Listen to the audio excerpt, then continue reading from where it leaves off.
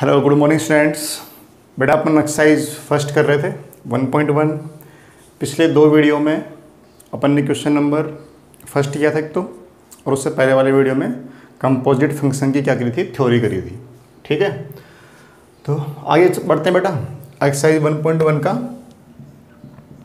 जो question number two है question number two है, उसको देखते हैं। ठीक है? देखो क्वेश्चन क्या है?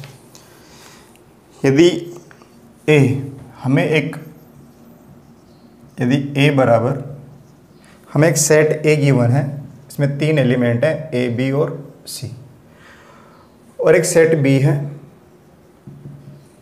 इसमें एलिमेंट है यू वी डब्ल्यू ठीक है?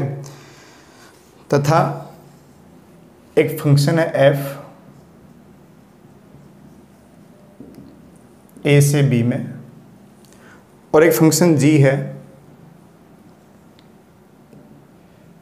बी टू ए में। तो था एक फ़ंक्शन एफ़ ए से बी में और एक function G B to A में। निम्न प्रकार परिभाषित है। किस प्रकार परिभाषित है? आपको एफ़ ये वन है। F equal to A V B W C V sorry B V A V B U और सी डब्ल्यू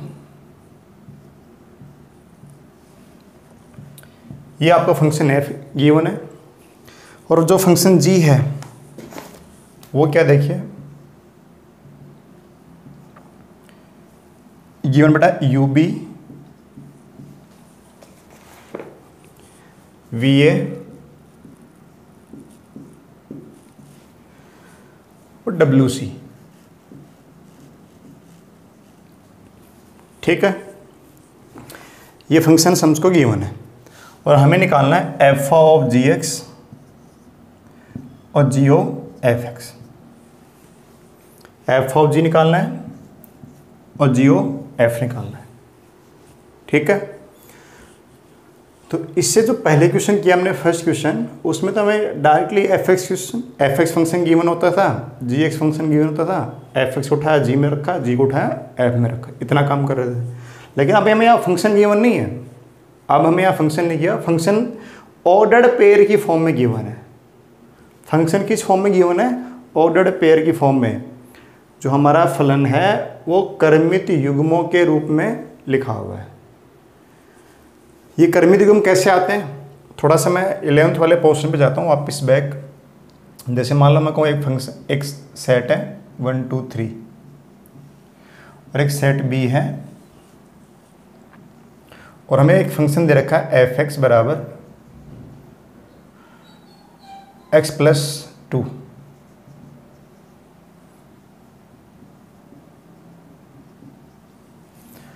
जो फ़ंक्शन एफ़ है ये सेट ए से बी में परिभाषित है। समुच्चय ए से बी में परिभाषित है। किस प्रकार है? F of X equal to X plus two जैसे अब मैं कहूँ, आपसे एफ़ ऑफ़ वन की वैल्यू चाहिए। अब ये इसका प्रांत हो गया। तो एक बार वन रखा तो F of one one plus two क्या एलिमेंट जाएगा? थ्री एफ़ ऑफ़ टू की वैल्यू बताइए। तो इसे टू प्लस टू कितनी वैल्यू जाएगी? फोर एक्स का मान क्या रखा? टू एफ़ ऑफ़ थ्री की वैल्यू बताइए, क्या आएगी तो थ्री प्लस थ्री वैल्यू आ जाएगी। Sorry three plus two five तो आप ऐसे कह सकते हो, अगर ये सेट ए है और ये सेट बी है, इसमें वन टू थ्री एलिमेंट है, इसमें टू थ्री फोर फाइव तो वन का रिलेशन किससे आ रहा है? थ्री से टू का फोर से थ्री का फाइव से। इस फ़ंक्शन एफ़ को ऑर्डर्ड पेयर की फॉर्म में लिखना हो। इस फ़ंक्शन एफ़ को अगर ऑर्डर्ड पेयर की फॉर्म में लिखना है तो वन का रिलेशन थ्री से, टू का फोर से, और थ्री का फाइव से। ठीक है? इस फ़ंक्शन एफ़ को अगर ऑर्डर्ड पेयर की फॉर्म में लिखना है तो वन का रिलेशन थ्री से है टू का फोर से, और थ्री का फाइव से। ऑर्डर्ड पेयर की फॉर्म में ऐसे होगा। और जनरल फॉर्म है इसकी। वेरिएबल फॉर्म तो बेटा ऐसे होती है F X equal X plus two अब हमें ये वेरिएबल फॉर्म नहीं गिवन है ऑर्डर पेयर फॉर्म गिवन है. और इससे हमें एफ़ ऑफ़ जी और जी ओ एफ़ निकालना है। तो देखो कैसे निकालेंगे। अच्छा अगर मैं ये ऑर्डर पे फॉर्म देख के ये वाली बात तो लिख सकता हूँ F of one equal to three F of two equal to four तो ऐसे ही आप लोग मुझे यहाँ बताइए, यानी जब कोई फ़ंक्शन रहा होगा एफ़ एक्स हमें नहीं मालूम था क्या फ़ंक्शन था।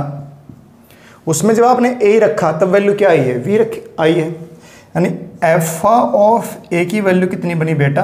वी जैसे एफ़ ऑफ़ वन की वैल्यू कितनी बनी है? तीन। ऐसे मैं आपसे पूछूँ एफ़ ऑफ़ बी की वैल्यू कितनी आई है? तो आप कहेंगे, sir U F of C की वैल्यू कितनी आई है? तो सर, आप कहेंगे, सर डब्ल्यू है। हाँ ना? एफ़ ऑफ़ ए का मान बी एफ़ ऑफ़ बी का मान यू एफ़ ऑफ़ सी का मान डब्ल्यू इतनी बात समझ में आई कि नहीं आई? चलिए, आगे देखते हैं। ऐसे आपके पास जी फलन रहा होगा? हमें नहीं पता जी एक्स फ़ंक्शन क्या था।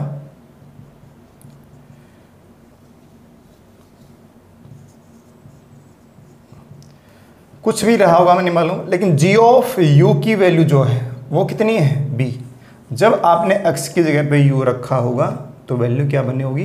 बी ऐसे ऑफ़ जी ऑफ़ वी की वैल्यू कितनी है? आप कहेंगे, सर सी है। जी ऑफ़ डब्ल्यू की वैल्यू कितनी है?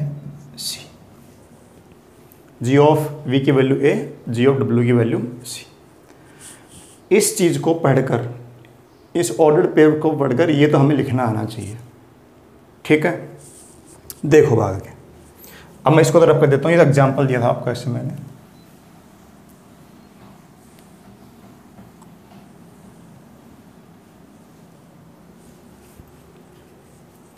अब देखिए भाई। हमें निकालना है एफ़ ऑफ़ जी मतलब एफ़ फ़ंक्शन के अंदर क्या रखना है हमें? जी एक्स फलन रखना है। इस जी को कहाँ रखना है? एफ़ में। लेकिन अब जी एक्स तो फलन दे नहीं रखा आपको।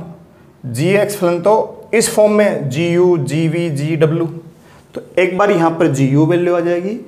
एक बार जी वी लिखेंगे आप, और एक बार जी डब्ल्यू लिखेंगे। तो देखो, मैंने एक बार इसमें क्या रखा? जी यू इस जी एक्स के मान कौन कौन है? जी यू है जी वी और जी डब्ल्यू देखो एफ़ ऑफ़ जी यू बताओ जी यू का मान कितना था बेटा? बी बी और एफ़ ओ बी का मान कितना है? एफ़ ओ बी का मान यू है। तो इसका आंसर कितना आ गया? यू मतलब एक्स की जगह पर जब यू लिखा आपने तो यहाँ भी क्या वैल्यू आई? यू ठीक है? अब देखो आगे और ऐसे आपने इसमें क्या रखा? F of G of V रखा। जी एक्स की वैल्यू नहीं है? वी और एफ़ ऑफ़ वी की वैल्यू जी ऑफ़ वी की वैल्यू कितनी बेटा ए तो ये एफ़ ऑफ़ ए बन गया। और एफ़ ऑफ़ ए की वैल्यू कितनी है? वी है। ऐसे इसमें आपने F of G of W रखा।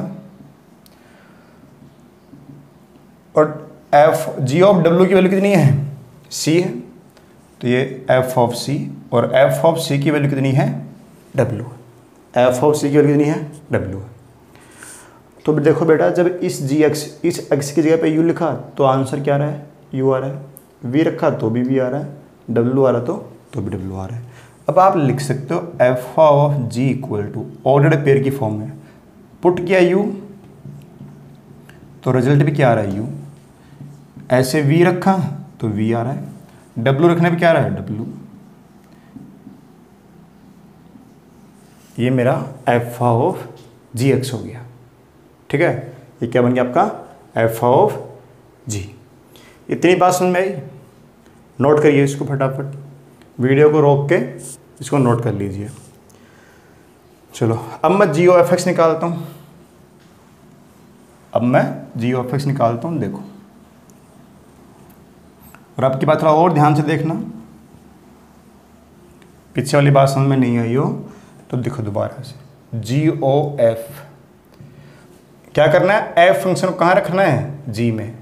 तो इस जी के अंदर क्या रखना है एफ़ एक्स फ़ंक्शन अब एफ़ एक्स फ़ंक्शन किस फॉर्म में है? इस फॉर्म में। ऑर्डर पे ये फॉर्म में था, उससे हमने इस ये लिख लिया। यानी एक बार वहाँ पर एफ़ ऑफ़ ए आएगा, एक बार एफ़ ऑफ़ बी जाएगा और एक बार एफ़ ऑफ़ सी तो रखो, देखो। G of F of A F of A की वैल्यू कितनी है बेटा? वी इस एफ़ ऑफ़ ए की वैल्यू कितनी है? वी और जी ऑफ़ वी की वैल्यू कितनी है? ए तो क्या आ जाएगा? ए एक बार यहाँ पर क्या आ जाएगा? एफ़ ऑफ़ क्या? एफ़ ऑफ़ बी और एफ़ ऑफ़ बी की वैल्यू कितनी है? यू और जी ऑफ़ यू की वैल्यू कितनी है? बी ऐसे G of F of C और एफ़ ऑफ़ सी की वैल्यू कितनी है?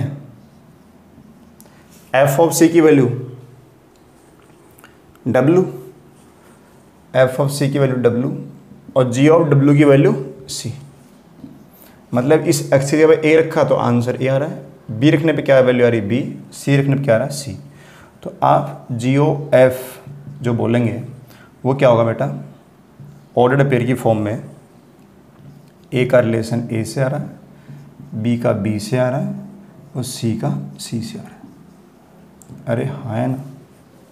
तो ये आपका क्या है? जियो एफ़ क्लियर बात समझ में आई? चलो, अगला क्वेश्चन देखते हैं। ये समझ में आया तो अच्छी बात। नहीं तो वीडियो को वापस करिए और दोबारा से देखिए।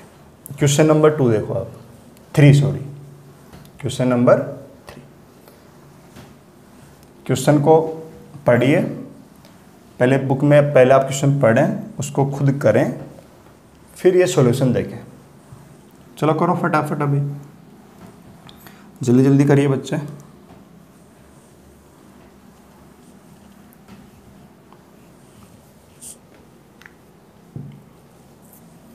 देखो, क्वेश्चन नंबर तीन। कर लिया भाई आपने सबने? नहीं किया तो पहले वीडियो को पॉज करो, पहले खुद करें। फिर सोल्यूशन देखना। ईमानदारी से करोगे तो सीख पाओगे।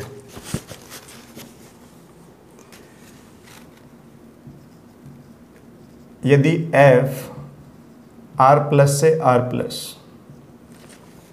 यदि f r plus two R plus and g r plus two R plus निम्न प्रकार परिभाषित है। किस प्रकार परिभाषित है?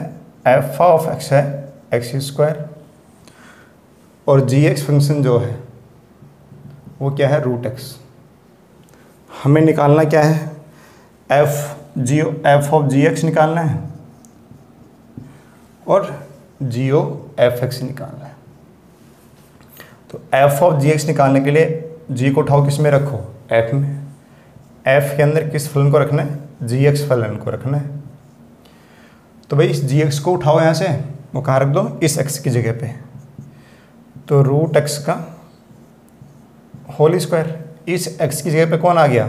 रूट एक्स रूट से कट जाएगा बेटा तक जाएगा आंसर एक्स आ जाएगा।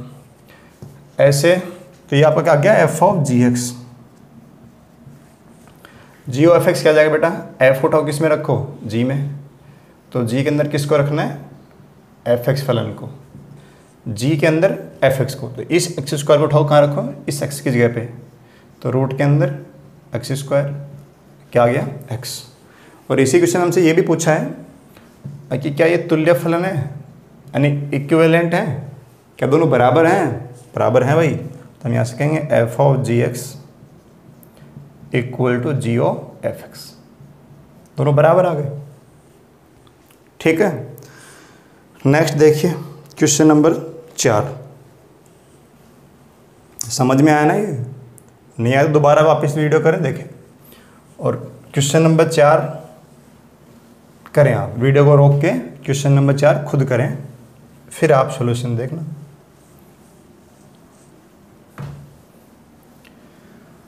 और घर पे बेटा, मेहनत करते रहिए। इस लॉकडाउन में जितना आप घर में रहेंगे, उतना सुरक्षित रहेंगे। देखो क्वेश्चन नंबर चार क्या है?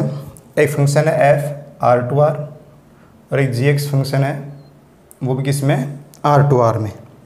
और एफ़ एक्स फ़ंक्शन जो गिवन हमें, ये क्या है? थ्री एक्स प्लस फोर और जो जी एक्स फ़ंक्शन है, ये गिवन है one by three x minus four और हमें निकालना है f of g g o f और जी ऑफ़ जी वन एक तो एफ़ ऑफ़ जी निकालना है तो बेटा जी के अंदर जी को कहाँ रखना है? एफ़ के अंदर। तो थ्री इंटू इस एक्स की जगह पे ये पूरा फलन जी फलन आ जाएगा। तो one by three x minus four one by three देखो थ्री इंटू एक्स एक्स का मतलब ये जी फलन। और प्लस में फोर सोल्व करेंगे थ्री कैंसिल आउट हो जाएगा। X minus four plus four ये भी कैंसिल वैल्यू आ गई एक्स ऐसे जी ऑफ़ एफ़ एक्स निकालना है अब की बार एफ़ को उठा के किसमें? जी में। इस एफ़ को रखा कहाँ पर? इस जी के अंदर। जी के अंदर किसको रखना आपको? एफ़ एक्स फलन को। तो देखो बेटा, वन बाई थ्री, इस एक्स की जगह पे ये जी एक्स एफ़ एक्स फलन। तो three x plus four minus four तो फोर कैंसिल आउट और यहाँ से थ्री कैंसिल आउट तो बेटा वैल्यू क्या आ गई? एक्स फिर से इक्वल आ गए। एफ़ ऑफ़ जी एक्स की वैल्यू भी एक्स है। जी ऑफ़ एक्स की वैल्यू कितनी है? एक्स इसमें हमसे एक बात और पूछी गई है। वो कौन सी? G of g one. ये निकालना है। तो मैं जी ऑफ़ जी एक्स निकाल लेता हूँ। क्या मतलब है समझना? मतलब जी फलन को जी में ही रखना है। जी को जी में ही। एप एक बार और लिख लें जी एक्स फलन को। ये लिख लिया मैंने। One by three x minus four. यही तो है जी एक्स फलन। तो इस जी एक्स फलन को इसी के अंदर ही रखना है। तो यहाँ से उठाओ और यहीं रख दो। जी के अंदर जी एक्स फलन रखना है बेटा। ठीक है? तो वन बाई थ्री, इस एक्स पे ये one by three x minus four minus four. तो बड़ा ब्रेक वन बाई नाइन तो ये x by nine, minus four by nine four by nine और ये वन बाई थ्री तो इससे मल्टीप्लाई होगा तो फोर बाई थ्री। तो सोल्व करेंगे नाइन तो वन बाई नाइन तो एलसीएम आ जाएगा। एक्स माइनस ट्वेल्व सिक्सटीन ठीक है? ये मेरे पास जी ऑफ़ जी एक्स की वैल्यू आ गई। किसकी वैल्यू आ गई? जी ऑफ़ जी एक्स की वैल्यू अब हमें तो क्या निकालना जी ऑफ़ जी वन निकालना है। जी ऑफ़ जी वन इस एक्स में जहाँ जहाँ भी एक्स आया है, वहाँ पर वन रख दीजिए। तो one by nine, one minus sixteen, one minus sixteen तो बेटा बन जाएगा माइनस का पंद्रह बटे नौ, यानी माइनस का पाँच बटे तीन। यही आपका आंसर।